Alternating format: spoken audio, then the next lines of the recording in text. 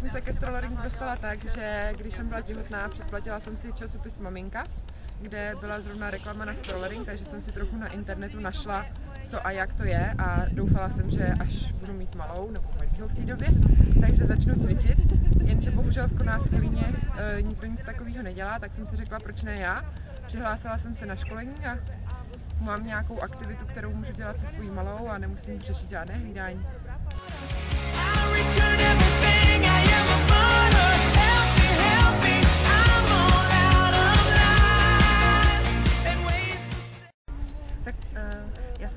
Rozhodla absolvovat eh, školení instruktorku strolleringu proto, eh, že mám eh, strašně moc ráda pohyb. Když jsem byla těhotná, tak jsem se dívala na sama doma. Tam byla ukázka strolleringu, to mě úplně nadchlo. A když jsem potom chodila ještě s tím pupkem, tak různě na procházky, tak jsem viděla kousek od domu, dva úplně skvělé parky a, a potom ty maminky s těma kočárkami, jak tam chodí na procházky, tak jsem si řekla, no já prostě musím něco udělat.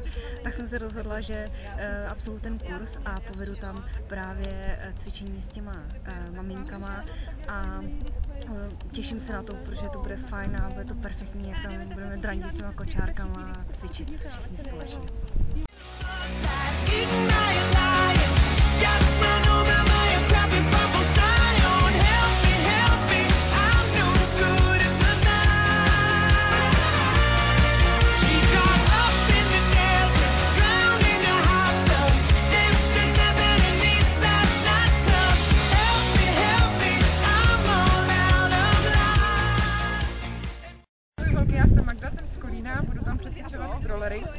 Právě jsem absolvovala dvouletý školení s Editou, bylo to super, můžu vřele doporučit, hodně jsme se naučili.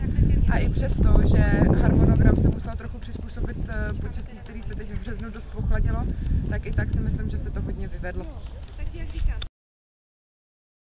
Bylo eh, velmi intenzivní, eh, bylo na dva dny, po prvním dnu večer jsem myslela, že nevylezu z protože mě všechno bolelo, ráno to bylo taky strašný, když jsem vylízala z postele, ale úplně skvělý pocit, že jsem si zacvičila perfektní kolektiv a hlavně se mi ujasnilo spoustu věcí, jak vůbec tu hodinu vést, na co si dát pozor, čeho se vyvarovat a hlavně jsem tady úplně namotivovaná a nabitá energií.